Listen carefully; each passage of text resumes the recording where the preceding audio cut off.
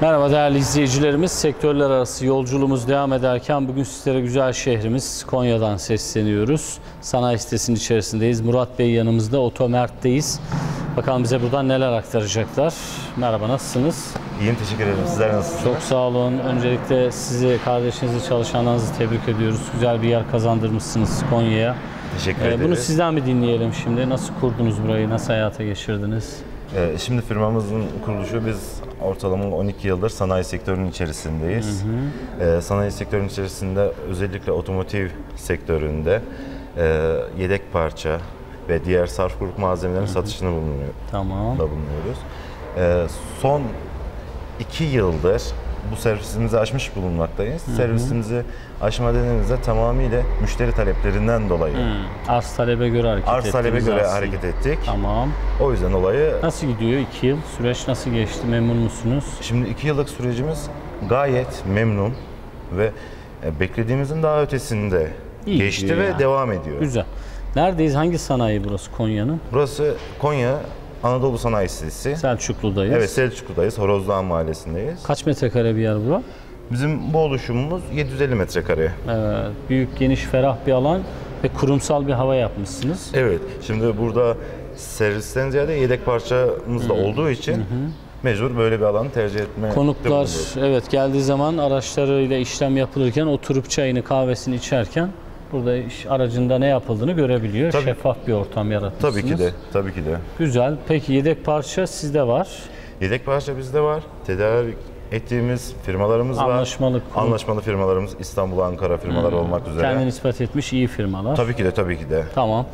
Peki araçlar her modele bakabiliyor musunuz? Ağırlığımız Alman grubu olmak üzere her modele bakabiliyoruz. Tamam. Araç buraya geldiğinde işlemi anlatır mısınız bir konukla olan diyaloğunuzu? Tabii ki de. Önce kayıt açıyorsunuz herhalde. Şimdi önce müşteri karşılamamızı yaparız. Ardından kaydını oluştururuz, müşteri şikayetlerini dinleriz. Bunları dinledikten sonra, kayıt altına aldıktan sonra ikinci sürecimiz başlar. Aracımız servis bölümüne geçer.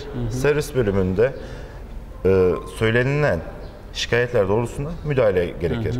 Yapılan müdahalelerde en önemli şey karşılıklı bilgi alışverişi. Yani müşteriye yapacağımız, kendi söylediği şikayetleri yapacağımız her şeyde fiyat bilgilendirmesi, e, yapılacak işlemin sürecini, Sürecini. belirtiriz. Tamam.